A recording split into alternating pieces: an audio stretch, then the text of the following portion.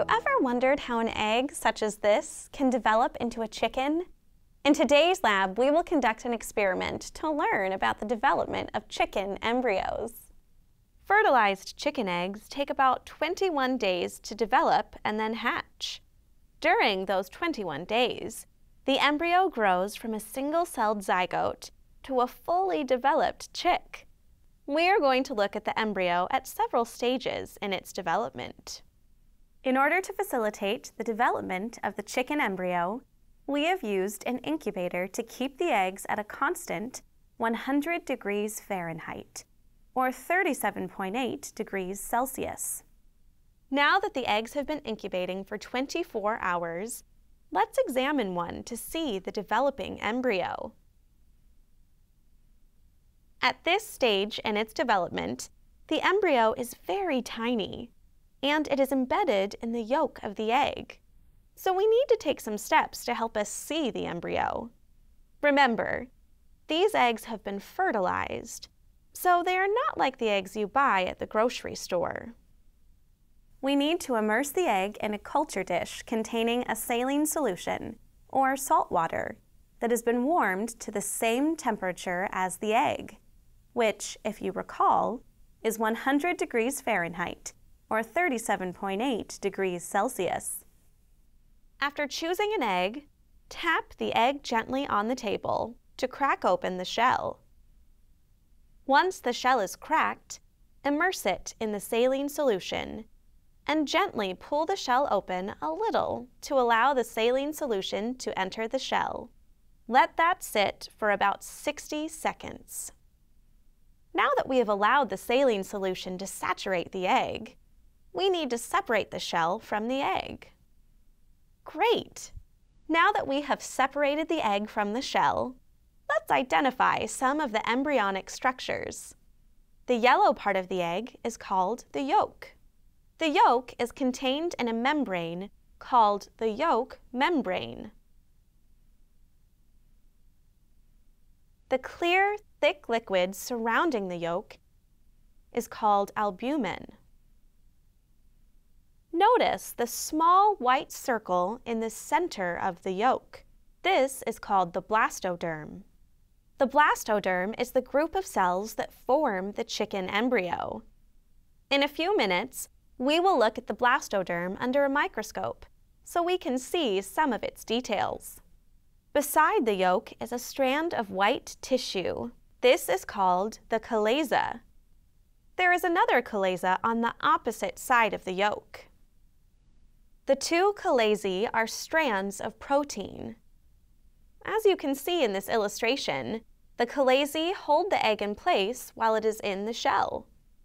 Next, we must add some drops of neutral red solution. Neutral red solution is a dye that will adhere to the tissue of the blastoderm to let us see it more clearly under the microscope. Use the dropper to add enough neutral red solution to cover the yolk. It should take about 30 drops. Be careful not to let the dropper touch the solution, because this could contaminate the solution in the bottle. We need to let the solution sit for 5 minutes. This will allow the neutral red solution to be absorbed into the tissue of the blastoderm. Notice that the blastoderm is stained a darker red than the yolk. Now, we need to remove the blastoderm from the yolk and put it in a petri dish so we can look at it under the stereo microscope. First, we need to grab one of the chalazae. It may not be possible to see the chalaza through the neutral red solution, but if we use tweezers, we can probe around until we grab it. We can tell we have it when we pull on it and the yolk moves with it. Next, while holding the yolk in place with the chalaza with one hand, we need to cut the yolk membrane around the blastoderm with several quick incisions. We must be careful not to cut the blastoderm while doing this, or the embryo could be damaged. We can tell where the incisions have been made because the exposed yolk will not be stained. After cutting the blastoderm free of the yolk membrane, we use the tweezers to lift the blastoderm out of the saline solution and place it in a petri dish. As careful as we were separating the blastoderm from the yolk, some of the yolk is still mixed in with the blastoderm. So we need to separate the yolk from the blastoderm. To help us do that, we first need to add a small amount of saline solution. Since the blastoderm is heavily stained, we can distinguish it from the yolk, which did not absorb as much stain. We should withdraw as much of the saline solution and yolk from the petri dish as we can. We don't want the water to reflect light and cause a glare when we put the blastoderm under the stereo microscope. We must be careful not to withdraw any of the blastoderm. Now, we'll place the Petri dish containing the blastoderm onto the stage of the stereo microscope. Under the microscope, the blastoderm looks like this. The blastoderm looks like a short tube surrounded by a flat disc. The tube is the embryo, and the disc surrounding the embryo is the area pellucida. The area pellucida forms the circulatory system of the chick. At the top of the embryo is a flap of tissue called the neural crest. This is the beginning of the chick's brain. Running the length of the embryo is a dark line called the neural groove.